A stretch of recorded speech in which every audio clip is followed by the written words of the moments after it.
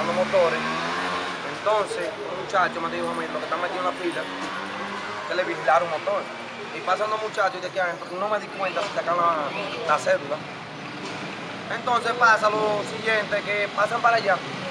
Y yo estoy hablando como, como gente que son, con disciplina. Y viene pues y me saca un cuchillo. Oye, pues él me atroncó allá y me dijo que casualmente que él me, me, me tiró, que si Dios no le quita el temor, me mata aquí. ¿Tú la conoces a esa persona? No señor, nunca le he visto. ¿Tú tienes problema con alguien? No, no. ¿Para qué viene el problema desde que te pudo agredir? No, que él pensó que yo era un ladrón de motores. Y yo me he ganado la confianza de aquí, de la Junta Central, en la mella con la Sánchez. ¿Cuánto tú tienes ya aquí? Yo tengo como tres semanas y pico aquí, haciéndole servicio a la gente. ¿Cuáles son las funciones que tú haces? Yo soy motoconcho, yo cuido los motores.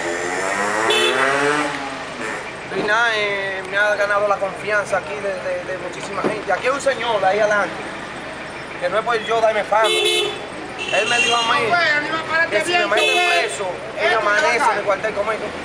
Entonces tú no tienes problema con nadie. De que yo sepa hasta ahora. Pero, Ellos te tiraron con un cuchillo. Sí, me tiraron con cuchillo, mira, aquí no hay, no hay, no hay, no hay, justicia aquí. ¿Cuántas personas eran? Todo. Pero tú no viste Todo si, estoy hablando como, como gente que somos. tú no viste si ellos salieron de la junta, fue.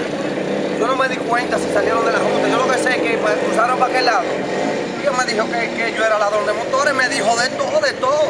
Somos becerros. ¿De dónde, de dónde tú eres? Yo vivo camino allá y barrio Los Toros. ¿El nombre tuyo? Y el dirá para Villar.